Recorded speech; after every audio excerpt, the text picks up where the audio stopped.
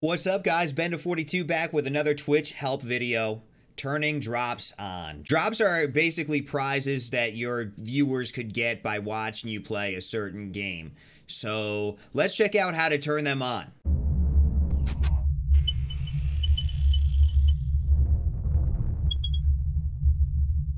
Of course, as usual, we're going to be digging around our Twitch dashboard. So this is the main screen on Twitch. This is the main page. Go to the top right, and you're going to want to go down to Creator Dashboard, baby. Once you're in your Creator Dashboard, you're going to want to go down to preferences. There's a drop section. What is that? Oh, I guess, oh my gosh, it's so easy now.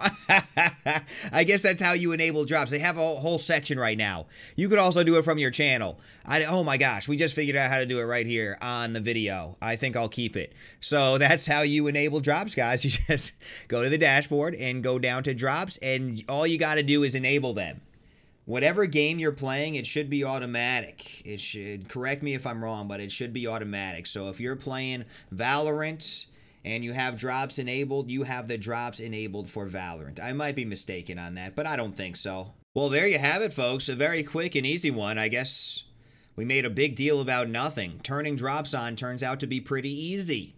Thank you, Twitch. Hey, guys, if you liked the video, give it a thumbs up, leave a comment, subscribe to us turn notifications on. You know, you know the deal. You know the deal. Thank you for the support, guys. Thank you for watching. And uh, I'm Benda42. We'll see you in the next video.